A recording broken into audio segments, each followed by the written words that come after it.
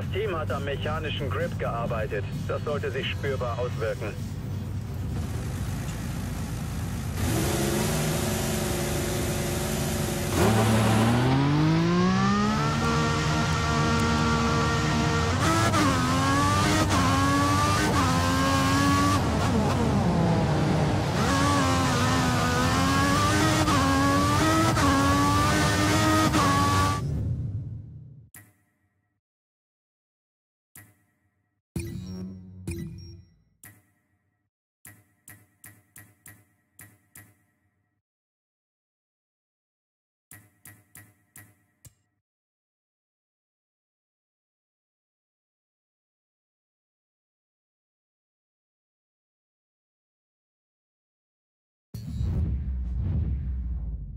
you